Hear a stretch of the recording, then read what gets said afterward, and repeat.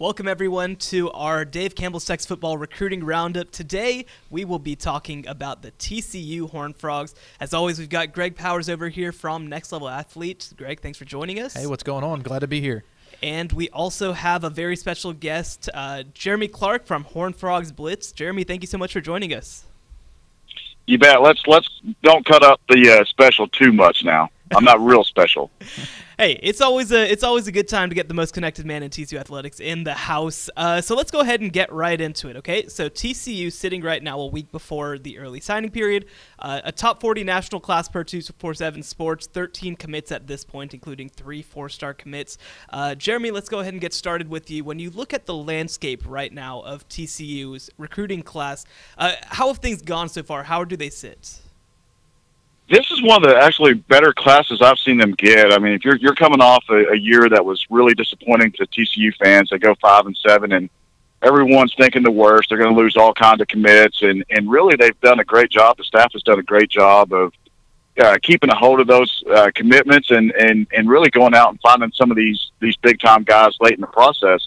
You look at a guy like Garrett Hayes; he's rated as one of the top offensive tackles in the country and they just landed him a few weeks ago. And then you have Patrick Jenkins, who was committed to LSU for quite a while. He decommitted and switches to TCU not too long ago. And you have another guy that's not even mentioned as part of this class, according to our rankings, but Jaquay Sorrells actually signed with South Carolina last year in the 2019 class. He didn't go to school, and now he's going to be at TCU. He's signing with them next week. He's going to enroll in January, but he was a top 15 defensive tackle in the nation last year. So the way they've gone out and, and really finished the class, they, they didn't have a big class. That's why they only have 13 commitments right now. But for them to be ranked 40th overall, that just shows you not really the, the, the, the search for quantity, but just the quality of these players. I mean, the, the, each one of those players are pretty highly regarded and, and they fill some big positions. They've got a few out there that they still got to go get, but overall, I'm very pleased with where they're at right now. Number 40 in the in the country off a season like they had is pretty impressive. Jeremy, before uh, we get into talking about our favorite players in the class, can you give us an idea, numbers wise, how how big do you think this class is, and especially taking into account Sorrells pushes them up to 14? How much space is left? Right. It's very small. I mean, you can basically count on one hand how many positions they have uh, left to fill, and it's really they, they need some receivers. They need defensive ends. So you're looking at a class, Greg, that's probably going to add potentially five to six more recruits, and they'll finish around 18 or 19 total. I think when you look at the the walk-on players they have on uh, not on scholarship yet, but they have on the roster that they would like to put on scholarship for the spring, that they're going to use some of those scholarships for, and then obviously you've always got to be aware of what the transfer portal brings you. There's always some players that come in or enter that portal late, and people want to take a look at them. And TCU kind of looked at that last year and looked at it from the standpoint where they want to keep at least two or three back, so in case someone comes across the portal, that they would have a chance to go get. And some of those kids they didn't have a chance to get this year simply because they didn't have any scholarships. But to answer your question, they're they're probably looking at maybe uh, between 18 to 19 uh, total in this class. Well, let's go ahead and uh, you mentioned Garrett Hayes, the four-star offensive tackle from Athens, Texas. Greg, when you look at Garrett Hayes, uh, what is it about him that makes him such a special recruit? Well, he's mean. That's the thing that I love about him. And this year, he was able to um, play in a different style of offense. I mean, he was always one of those guys who was just a drive blocker with what Athens did before transitioning to more spread them out style this year. So he was able to get more college ready, I think, a, a little bit more experience playing in a, a more versatile style of spread offense there uh, in 2019, and I think that'll serve him well. And one interesting thing that I kind of noted as we were getting preparation for the show today is uh, he's now the second highest all-time per 247 Sports uh, recruit, and that's major for Gary Patterson to have a guy I think like that up front. Jeremy, when you look at uh, you know some of the uncertainty, I guess that's happened on offense. You know, questions about Sonny Cumbie, even Curtis Luper now potentially becoming uh, you know in the running to become the head coach at New Mexico. Um, how has that affected this class, and how do have they been able to kind of keep, uh, like you said, some of these top end guys together? Well, when you look at where kind of where Sonny Cumbie stands right now, I think Gary Patterson's going to give him a benefit of the doubt, so to speak. It's probably not in what TCU fans want to hear, but overall, I think you look at the execution last year; it wasn't real great for TCU offensive line, receivers. dropping passes, and you had a true freshman quarterback. But the stability to, to keep Sonny around's big because he's such a great person. He's a great recruiter. Kids love him up at TCU. Recruits gravitate toward him. And the the thing that they've they've always had Curtis Luper. Everyone that knows Coach Luper, he's he's he's been a name on everyone's list. It seems like every year. Every year I've covered TCU, it seems like every year I'm talking about Curtis Luper being on this watch list or he's on this other watch list. So they've always done a pretty good job of, of being able to control the talk from the outside. Uh, with with coaches being in, in the running for certain positions, and I think overall this this class here recently, it, they've they've just decided, like I said earlier, just to stick together, and they're really excited about coming in and and, and getting this thing turned around. And, and sometimes I always tell a lot of people, not necessarily uh, it, because they have a bad season doesn't necessarily mean that they're going to lose recruits because recruits look at it different. Greg will tell you the same thing. They look at it over a period of time. If they if they consecutively have losing season after losing season after losing season, that's going to raise some eyebrows. And same way it, it affects the winning. If, if you win a lot, recruits are going to gravitate toward that. But for TCU, they really haven't had that span of really bad seasons over and over again, and so that's why they've been able to successfully go out and get these guys. But it, it for me, just covering the team as long as I have, I really haven't seen recruits back off just because they hear talk about other uh, coaches getting positions elsewhere, and they've always done a really good job. And Gary Patterson's really the catalyst behind that. He gets out there and gets in front of these recruits and lets them know what's going on and if there are changes, what he's going to do to to make everything better. I certainly think if you throw out the win loss record that TCU has a lot to really sell to a recruit right now, especially with what they've done. Uh, started a transition on the offense. They're going to have a guy like Jalen Reagor going into the NFL draft uh, to spotlight as well. Uh, throw out the recruiting rankings. You know, and I know, Jeremy, covering this team over the last uh, 12 to 15 years, especially on the recruiting trail.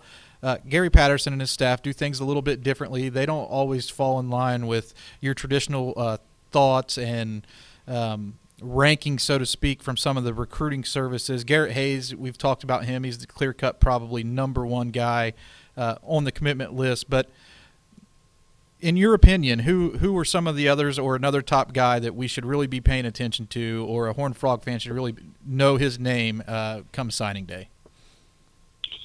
Well, this that's a good question. Um, Patrick Jenkins really jumps off the chart because he was committed to LSU so long, and, and as we all know, there's there's decommitments and there's times where colleges kind of tell you, hey, it might be best to look around a little bit, and and sometimes they drop those players and they they say face and let the kids go out and, and make an announcement that they're decommitted. But some of those kids, let's face it, they're they're getting dropped. And for Patrick's case, it, he was not dropped by LSU. LSU would have loved to have had him.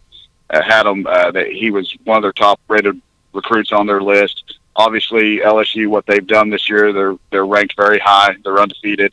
Uh, so for them uh, to to really go into Louisiana and get a flip from him that's a testament to the job Zarnell Fitch does. I mean, Zarnell Fitch doesn't get enough credit for the guys he he brings in. He's done a great job not only recruiting, but if you look at the way they've developed their defensive tackles, you talk about Corey Bethley and Ross Blacklock. Those guys have made all Big 12 teams three years in a row. So when you when you take a guy like a, a Patrick Jenkins, that's a four star that really has the ability to play outside or inside, kind of like LJ Collier did when he was at TCU that's a huge steal for them. That that that is a huge feather in the cap for the TCU recruiting uh, fans and everything else. That that they should know that TCU did a really good job going out there and getting that kid. Uh, another kid I liked, and, and you know me, Greg, I love the small town kids. There's nothing more I like writing about than a, than a small town kid that makes it big. And the kid that I really like, I love his film. He's not rated really high with us, but I think he's really a, a potential steal for TCU. That's Blake Nowell out of Oklahoma, Plainview, Oklahoma. 6'4", 190 pounds. He's a he's a receiver that can go up and get the ball, high point the ball. He's got very deceptive speed. He's got a lot of yards. He put up some really good numbers all three years as a varsity starter at Plainview. He even played varsity as a freshman. In those small towns, they, they put those athletes up there pretty pretty early. But he's another one I'm really excited for. And, and for that offense that really needs a taller outside receiver, he's going to come in and really have a chance to make an impact early on. And it, you can say the same thing about the other receivers they have, Jimmy Holiday and, and Danny Gray out of Blinn Junior College. Danny Gray might be the answer to Jalen Reagor leaving early because those two guys, if you remember Greg, when we were covering the 2017 class, Danny Gray was really uh, an athletic player that everyone talked about. We all knew about the academic issues coming out of high school, so we didn't know where he was going to really fit in to, to where he where he was going to sign. He ended up signing Missouri, but ended up having to go JUCO anyway. But we all knew then that he was extremely talented, extremely fast, and had a chance to do really big things if he went to the right school. And I think with him being committed to TCU, he's a he's a perfect answer for them losing Jalen Reagor. And, and if he can get in, and, and he's not going to be there until the summer, so he's got to come in and really work hard, learn the offense, and, and get out there. But he's definitely got the athleticism to make big plays for the next year. Yeah, I think he would have been a clear cut four star if uh, he would have had the academics coming out of high school. James Madison High School in the Dallas area really lit up the Nike camp. Danny Gray did uh, was an unknown guy when he stepped on the field to compete there, but a, lot of people knew his name by the time uh, signing day came around when he signed with Missouri. Yeah, and Greg, when you look at especially the Texas guys on this list, who's maybe one guy who who kind of stands out as one who's gone a little bit under the radar? Well, I think Michael Nichols is a guy who's went under the radar, and that's because he had such a transition from his junior year to his senior year. I think he probably gained, and talking with the coach over there, gained like 20 or 30 pounds uh, in the off season, and was a completely different dude when he stopped, stepped onto the field. Um, for spring ball uh, back in the spring of 2019. He continued to look good on tape um, going forward. So I think that's a guy to really keep an eye on. He's listed at 6'4", 255 right now, but has frame to add, um, and then also has a, a long wingspan. So I think there are a few guys on the, on this commitment list, or a couple of them, and Michael Nichols and uh, Tyler Bailey, um, who are position versatile offensive linemen. Um, but I think Nichols has a chance to stick at tackle uh, and be that guy who could potentially grow into a true blindside protector, and that's very valuable in any class. Jeremy, uh, let's finish up with this. When you look at the landscape, you mentioned only maybe four, five, six spots left in this class. Who are some of the guys who you think that are left that TCU could land in the in the coming week and also the next coming weeks before the the final signing day? Yeah, that's kind of what I was saying. It, it, it's it's kind of funny because you look at the season they had, and you're thinking, oh, they're gonna they're gonna have to scramble to find some of these guys, but they're really in the running for some really good players. Bud Clark out of Alexandria, Louisiana, is a four star. Uh, they have an extremely good chance at getting him, and, and yet another four star added to the class.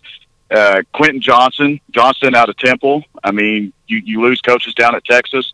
TCU is the one school, and Malcolm Kelly has done a tremendous job recruiting him they're the one school, even after he committed to Texas, that stayed on him. And I think that meant a lot to, to Quentin. And they actually have a, a pretty decent relationship, those two do. And, and I think it, it could come down to the wire for that. I'm not saying TCU's going to have a chance to steal him or anything like that, but it, it would be pretty close to you. It, I would just tell TCU fans and other recruiting fans to, to keep a close eye on it because they are doing everything they can to at least convince Quentin that he would have a chance to come in and make an impact pretty early, just like I said about Blake Nowell, just having that tall outside receiver, and, and Quentin's definitely a guy to watch. Chandler Morris, I mean, you don't know what's going to happen with Chandler because Chad just took the job at Auburn, but people I've spoken with still say it's a it's an Oklahoma TCU battle. TCU really came in there late, and I, I think the family likes Sonny Cumbie. Uh, I, I've heard that Chandler wants to kind of stay re- relatively close to home, and let's talk about TCU's depth chart at quarterback right now. They've only got Max Duggan, that's the healthy quarterback. Matthew Baldwin, the transfer from Ohio State, he's not healthy right now. He didn't go through last season. They've lost uh, Mike Collins to the portal. Justin Rogers obviously put his name in the portal earlier this season. Alex Delton was only there. I mean, he was going to be a senior anyway, so they, they've only really got one scholarship quarterback on that roster. So if you're a 2020 quarterback right now, they they they've got Jimmy Holiday that played quarterback in high school. He's he's more of an athlete. Eli Williams out of Oklahoma is another quarterback, but there's not a whole lot of quarterbacks on that roster. So if you're a 2020 guy, you got to be looking at that and thinking, man, I, if I could come in, I I may not start because Duggan's a he he did pretty well as a true freshman last year, but you could easily be a second or third stringer by the time you're on campus. So if they can finish with those guys and and add in some guys like uh, Corey Wren's another guy that's been talking to them out of Louisiana. Uh, they've got Robert Scott, big offensive lineman out of Arkansas that's been talking to them they've got some names out there that are committed to other schools at the moment, but TCU still still very much in the picture for a lot of those guys. That's Jeremy Clark. You can follow him at, on Twitter at jclarkhfb. Uh, he's a publisher for Horned Frog Blitz as part of the 247 Sports Network. And of course, we've got Greg Powers over here, Next Level Athletes. Uh, guys, thank you so much for joining us, and we look forward to doing it again real soon.